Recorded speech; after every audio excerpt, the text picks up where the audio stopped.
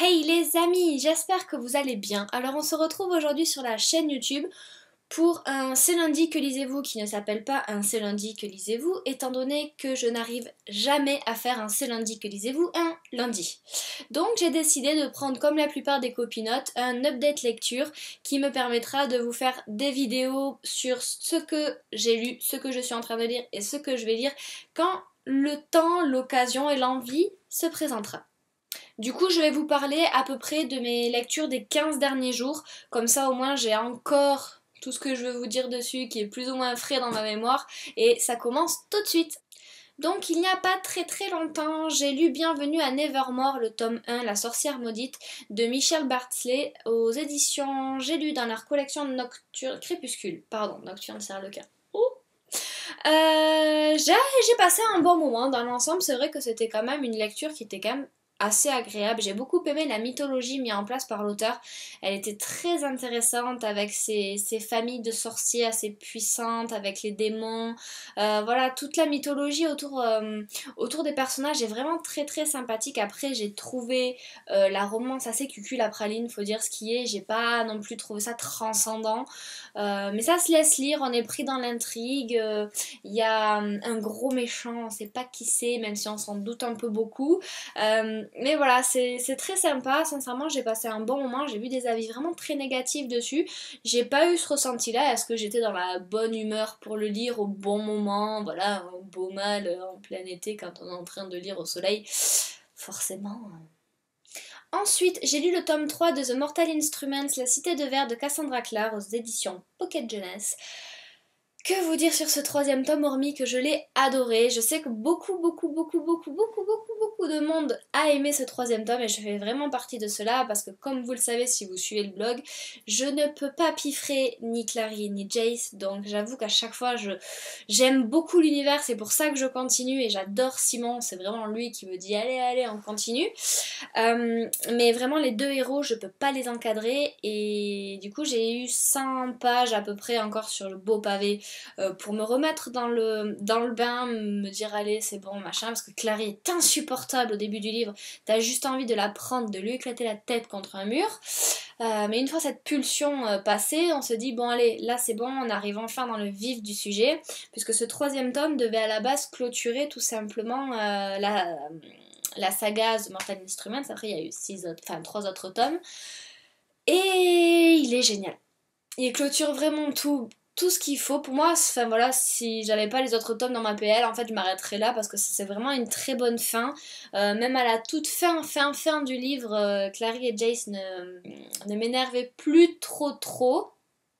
Ça peut arriver comme quoi. Et, euh, et voilà, il y a beaucoup d'actions, beaucoup de rebondissements. Il y a des choses quand même que l'auteur veut garder un petit peu en, en secret, mais c'est très prévisible. Donc ça, je m'attendais pas à ce que le gros secret soit si prévisible au final, parce qu'elle essaie de l'amener euh, discretos, mais ça se voit euh, comme si j'avais un œil ici. Euh, et donc voilà, sincèrement, c'est un très très bon tome. Si vous avez aimé les deux premiers, le troisième va vous ravir, et si vous n'avez pas commencé la saga, hormis les deux personnages principaux, sincèrement, j'ai rien à redire. Ensuite, j'ai lu Dans les bras du vampire de Jenna Showalter aux éditions Harlequin dans la collection Nocturne. Euh, Celle-là, je vais avoir un petit peu le même ressenti au final pour Bienvenue à Nevermore, c'est-à-dire que j'aime beaucoup la mythologie de l'auteur.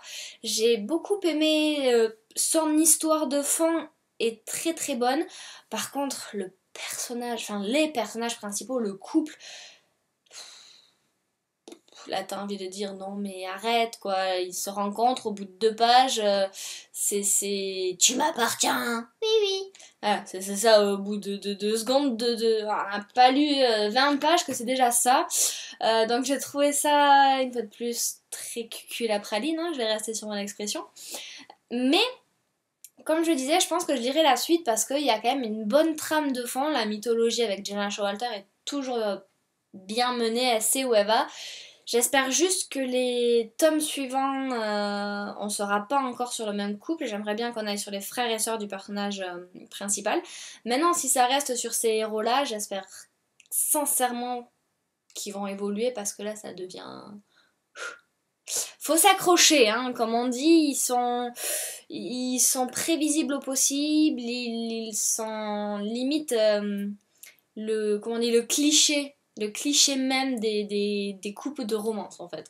Donc bon, ça m'étonne un peu de la part de Jenna Showalter parce qu'elle a quand même, la plupart du temps, ses, ses couples sont vraiment géniaux, ils sont bien aboutis. Et là, j'ai trouvé que c'était genre, euh, on va faire un couple assez nunuche histoire de bien placer le monde. Donc c'est pour ça que je croise les doigts pour que la suite soit géniale. Donc, qu'est-ce que je suis en train de lire? Donc, je ne l'ai pas encore commencé, mais ça ne saurait tarder. Ce sera La danse des ombres de Yelena Black aux éditions Pocket Jeunesse. J'ai entendu beaucoup de bien, toutes les copinotes qui ont pu le lire déjà euh, en s'en sortir ravies. Donc, c'est vrai qu'il me tarde de me plonger un petit peu dans cet euh, univers qui m'a l'air euh, très glauque au final. Je sais pas pourquoi, mais cette couverture me je sais pas, elle me fait un peu flipper malgré qu'elle soit magnifique. Donc du coup, vivement. Et pour finir, j'aimerais beaucoup lire Indécise de S.C. Stephens aux éditions Hugo Roman. J'ai entendu énormément le bien sur, euh, sur cette saga, je, pense, enfin, je sais pas si c'est une trilogie. Euh, le seul truc qui me rébutait un petit peu, c'est qu'il est énorme, mais c'est écrit tout petit, petit, petit, petit, petit, petit. Donc j'espère vraiment que je vais accrocher dès les premières pages et que je vais pas voir les pages défiler parce que si je commence à m'embêter, vu le poids du machin, je vais vite le reposer en fait.